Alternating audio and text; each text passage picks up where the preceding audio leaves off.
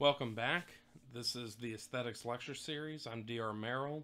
Last time we finished up with Aristotle, and then we went into the uh, Roman, the, the lone Roman thinker here, uh, Plotinus, um, which is in a sense a rehash, but a new way to explore Platonism. This is the Neoplatonic uh, school that is initiated there. And so we left off there. This lecture, I don't think I have quite as much on St. Augustine. Um, so I think we'll do Aquinas and Augustine together, the medieval thinkers. So, with the collapse of Rome, um, which was a fallen pagan state, and later, of course, became uh, the first Christian state, um, you had Constantinople, Justinian, and then we move into uh, the doctrines based on the writings of the apostles and uh, the hearsay of Christ. Christ is the Savior. And um, actually, uh, uh St. Uh, Paul, or Saul, uh, you know, is his translated name, Saul of Tarsus, actually went around a lot of these Mediterranean islands when he was trying to preach the doctrine of Christ. Um, he actually was not that far from where uh, Socrates actually gave his apology speech before he was sentenced to death.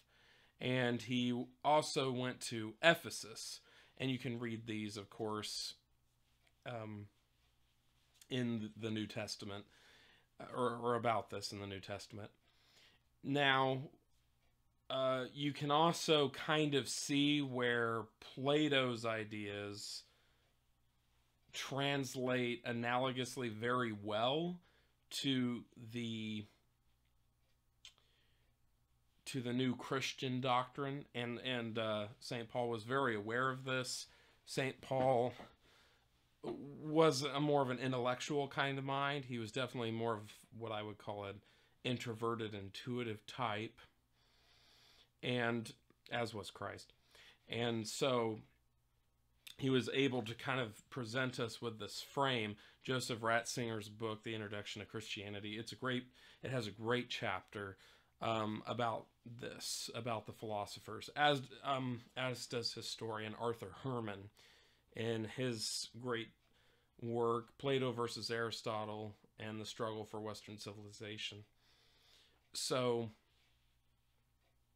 now we, we can see where the ultimate idea of the good which is explored in Plato's Republic, um, is kind of easy to to conceptualize as the Christian God, the ultimate good, the source of good and all of value. And then it is this good that, um, of course, when we're taking in account the Old Testament and all of the Hebrew scriptures uh, with the early prof- earlier prophets, Abraham, Moses, you and Noah, sorry, you can um, see how he thought he, he could adapt that almost archetypal God, but put him into, in a sense, an even more perfect and delimited kind of conception of God, where um, Christ is, of course, God incarnate. Um, you have to believe this to be a Christian.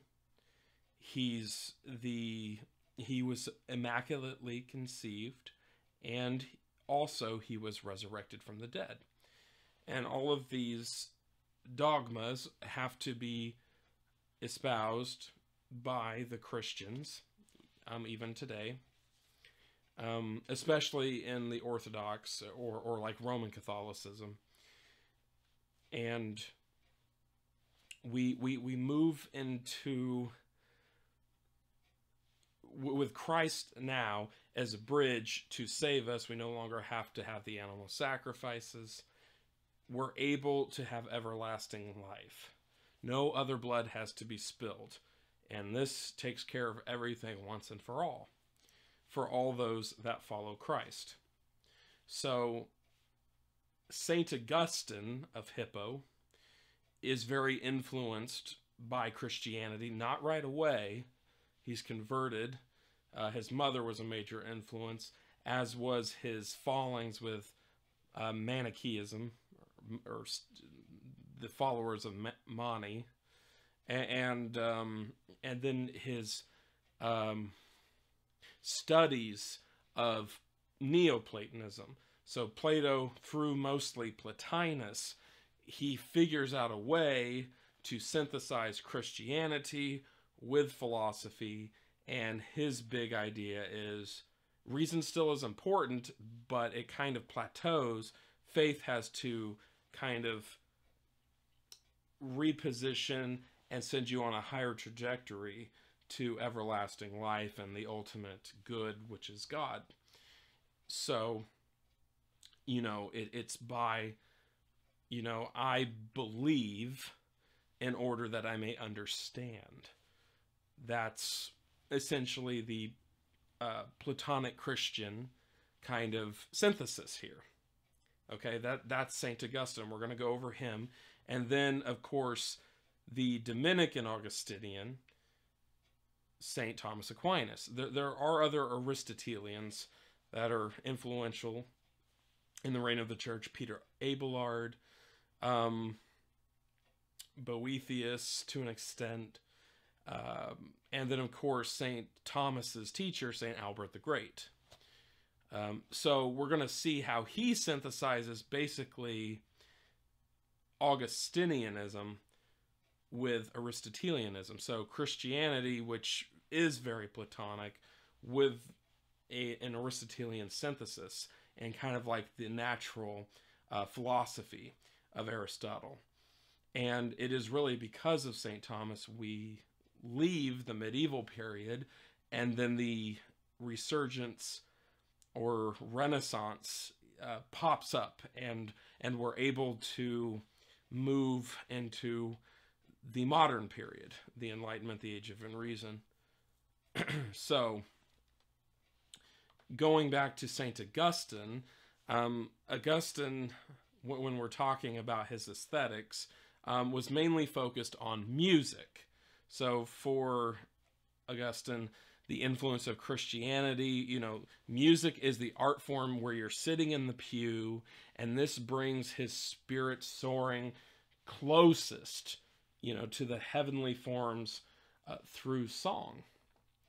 Um, and uh, let's see, so he's really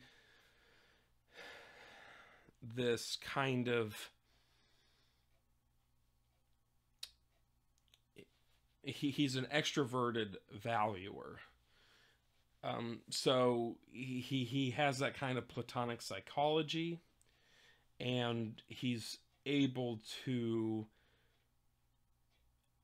override some of Plato's prejudices against poetry or poetic madness and and and he sees because he sees reason as really a limited but necessary um, portion of faculty.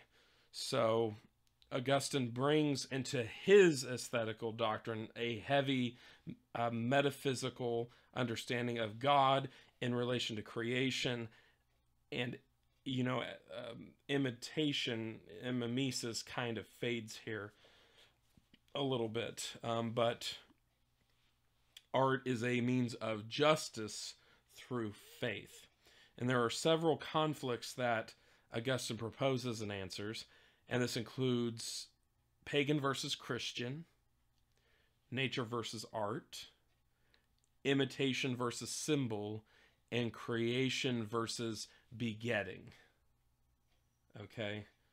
Um, so Augustine believes music is more divine than painting or, or visual things, sculptures and whatnot. Um, other iconography or what we call iconography of the Christian church, of the Catholic Church. And this is because visual beauty references things of our perceived nature, which is limited to a sensible experience, experience and it's devoid of God's perfection of good and beauty. However, although the music, you know, it can bring some divine harmony to the soul, nothing is as important as the harmonious power intellectually of Scripture. Augustine's philosophy is Platonic for that reason. Eh, eh, he eh, he he does agree with Plato to an extent that art can poetic, fine art, um, can kind of mislead the self on that quest for truth. And for Augustine, the Scripture and God are both truth. Uh, scripture's the, the means to the end, which is God. and therefore, this is the only path to ensure that it is followed. So, as long as art is used for the holy mission of the church and used against the visual references and advocacy of paganism, visual art is in good standing. The metaphysical fulfillment of art is beauty. Augustine's theory, followed through the Middle Ages, is about beauty more than a philosophy of art. Of course, we're still not to that point where we have a fine art philosophy yet. So it's, you know, this tradition is seen in the philosophy of St. Thomas, but again, it, it still isn't precise, but it points us to the direction which uh, fine art later becomes. Both of these medieval thinkers are concerned with beauty and and it's and it's that like we discussed in the first lecture it's that innate beauty that emanates from within outward it's true beauty that relates to truth goodness wholeness that beauty and then although for augustine you know aesthetics is also about measure like it was for plato and aristotle it deals more with divine fulfillment or spiritual harmony or or feeling than with that kind of like obsession with geometry and, and what's mathematical and, and purely intellectual abstractions. So the measure can be found in different forms in proportion, organization of rhythm, uh, connections, which spiritual and empirical, and divine measurement. So Neoplatonism continues after Augustine and even Aquinas in forms such as uh, Italian humanism, which you, you can find in Ficino, or in the Cambridge Platonists, uh, such as Shaftesbury. Platonism has also had a handle on aestheticians and artists in particular, despite Plato's explicit banishment of poets. But it is the idealistic temperament artists are always trying to discover true beauty in their endeavors. All right, and with that, we'll go ahead and end with Saint uh, Saint Augustine, and we're going to move now into Saint Thomas, um, which is can be seen up here in my image. Oop, I guess it's wrapped around the cord. So we have Saint Thomas in the center and then you have Plato on the right, Aristotle on the left, Christ up above, and he's this culmination. He's the great synthesizer of everything scholastic up to that point. Because remember, in this time, the intellectuals were the monks. They were the ones that could actually read the illuminated manuscripts and transcribe them and, and, and keep them from being eroded and, and lost. So Augustine thought that he there, there is one quote that's attributed to him actually on my clock up there of him beware the man of only one book it, it, there's plenty of things to learn even from the negative because he does hold all of the christian dogmas and a lot of people did not think a union with aristotle could be done that if in a truly non-platonic strictly puritanically Aristotelian influence, there would be no room for a creator God. Um, it's all about evolution, um, individual particulars, and uh, kind of a selfishness. So, but but he does find a way to, to deal with that, and he's not just a, a, a spouter of, oh, I just hold this position because it's Aristotelian. Many times he disagrees with with Aristotle, but he gives good reason, and he never contradicts the dogmas of the Catholic Church. So, for Aquinas, now going into his aesthetics, which are some great books. Um, there's two books in particular by Umberto Eco, who wrote The Name of the Rose, great fiction work. Um, art or aesthetics of the Middle Ages, and the aesthetics of St. Thomas Aquinas. Excellent, excellent, excellent read. Can't recommend it highly enough.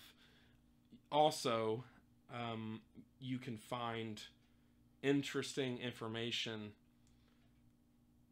about St. Thomas's kind of ideas and how I guess how they relate in um oh shoot um, in the neo-thomist work art and scholasticism and it is better to get by, by jacques maritain the neo-thomist it is better to get a publication of it with the essay frontiers of poetry and while i really like his uh, work um, the responsibility of the artist, which kind of deals with that union but difference between ethics and and um, aesthetics. But I mean, it's it's really a great read. Um, I still would recommend his uh, lectures that were entitled um, "Creative Intuition um, Through." um, art and poetry, I think. These are all really great works. Um, if you're interested in these kind of ideas, we will probably still go over Maritain. Um, there's a couple other neo Thomists that had some interesting things to say. But um, without further ado, St. Thomas, art um, as causation in nature, uh, generationum, or art as imitation, which leads to art as objects of enjoyment the the fine arts. Of course, he didn't really have a specific name or exact idea or venue for this, even not not even necessarily the exact materials, um, but we we kind of are getting an idea here now of something that can be contemplated on. And of course, we're looking at mostly through a religious lens, a, a kind of meditative um, contemplation. But um, because the ancients did not have this idea, it, it was festered really by Kant.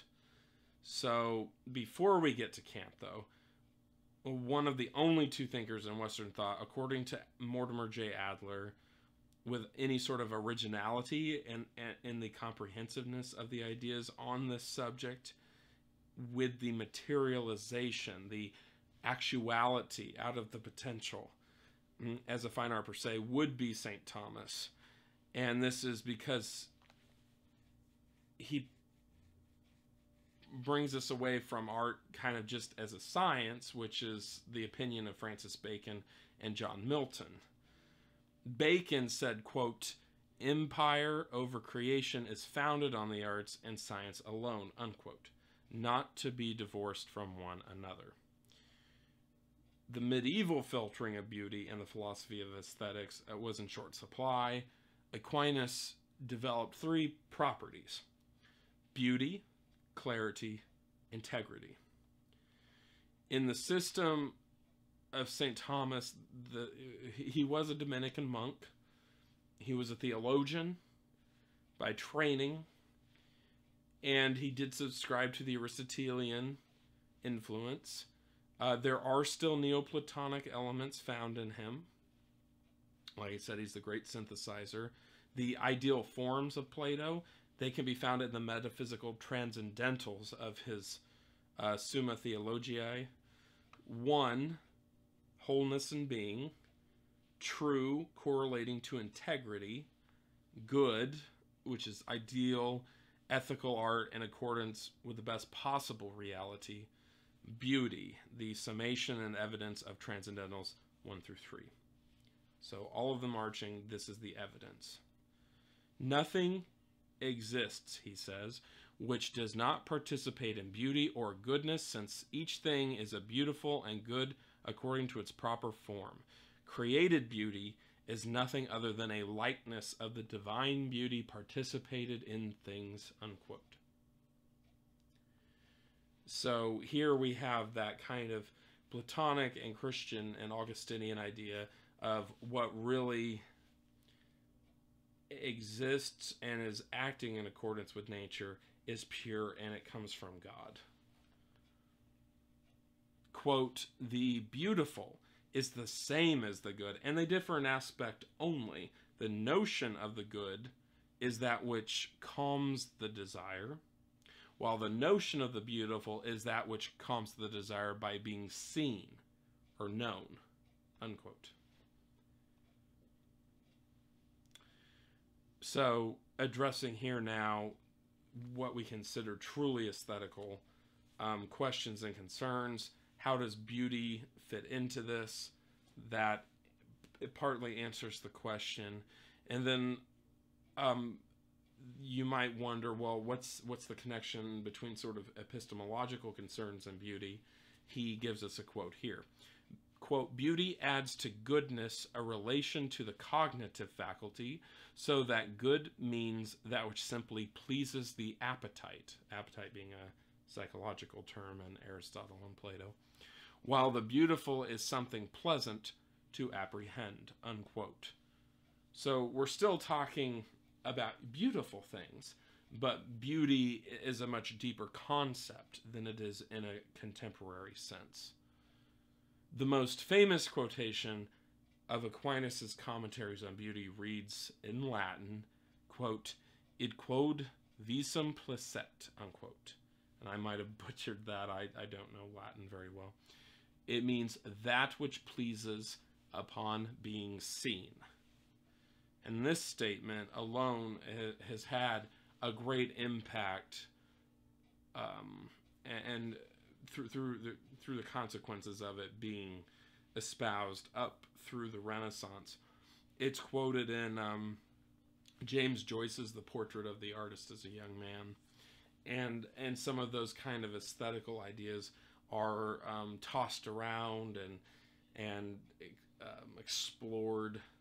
I think the I think the character kind of abandons it, but still the the pleasures and the desires are aimed at the good. That's the transcendentals, and they're not meant for any sort of divorce from one another. Quote, beauty consists in due proportion for the senses delight in things duly proportioned, because the sense too is a sort of reason, as is every cognitive power, unquote.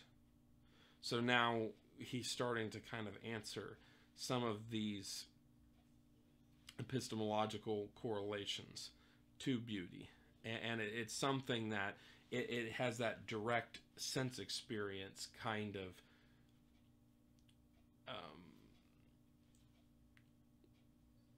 way that we're kind of pointing towards a, a judgment of taste or, or just a judgment of pleasure.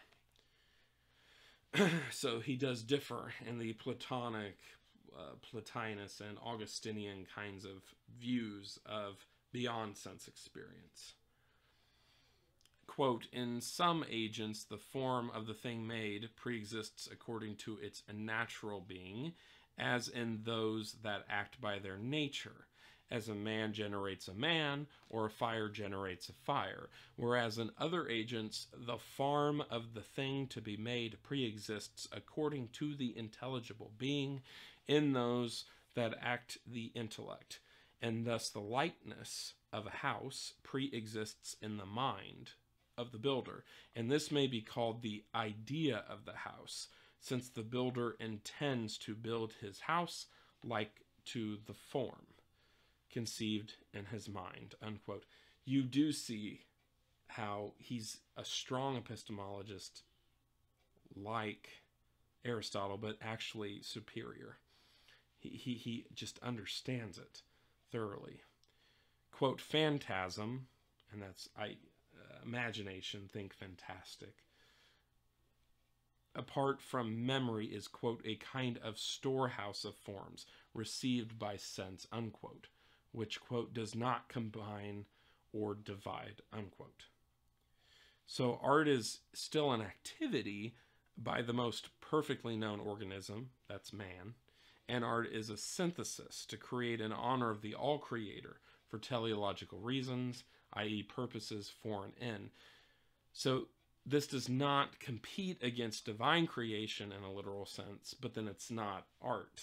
Um, you know, not out of nothing or ex nihilo but it's the reshaping of matter. It's a purely human activity and is such a form that must be ontologically dependent because it has no autonomy. It's an end in itself. So now we're starting to see the more, you know, peak of rays into where the modern mind took this. Quote, every craftsman intended to give his work the best possible constitution not indeed absolutely speaking, but in relation to its purpose. Unquote. For Aquinas, the didactic form's beauty for pleasure is incidental. The goal, unobtainable for perfection, aimed towards the good.